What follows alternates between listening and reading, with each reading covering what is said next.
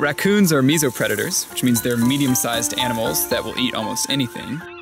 Larger apex predators, things like cougars, wolves, and black bears, will terrify them.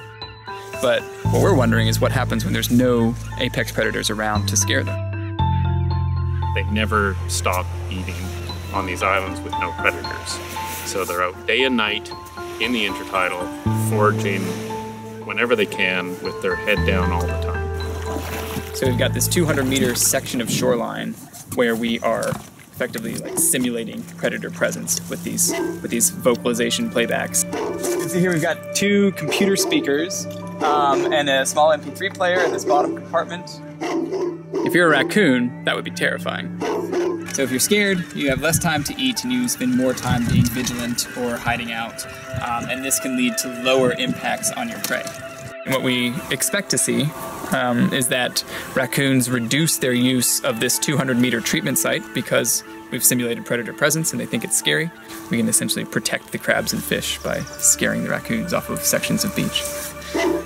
I hear the dog barking and I ignore it, and there really is a dog, and I'm dead. And we looked at their responses to cougars and bears, and they don't pay any heed to cougar and bear playbacks, but they respond to the dog playbacks. Cougars and bears have been gone for a century, and so they've obviously lost their, their sensitivity to those cues.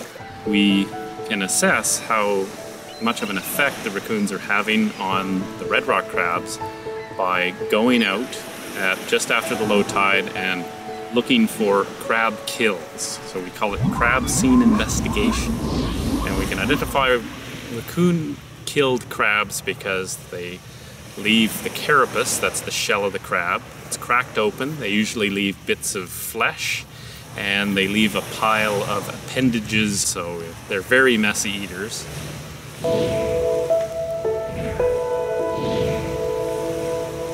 We've got two sets of um, trail cameras out at each of our treatment sites. The first set is motion sensitive, and they're set uh, along the high shoreline, so we get um, shots of any raccoons that are traveling across the high shore that are sort of set back away from the intertidal.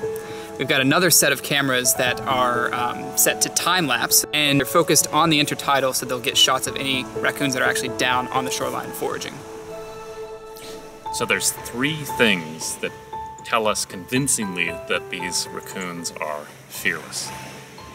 First is that they're out during the day, which you don't see elsewhere.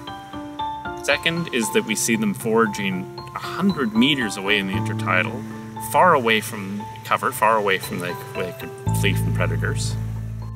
Third is that when we quantify it, they actually spend less than one second out of every minute looking up to see what's around. Fear is a part of life, and it definitely can be good for the environment. And the raccoons in the Gulf Islands, they're eating so many red rock crabs, small fish, and other intertidal organisms that they may be having severe impacts on biodiversity in the islands. We can't necessarily reintroduce cougars to instill fear, so we're looking at other ways to instill fear in these raccoons.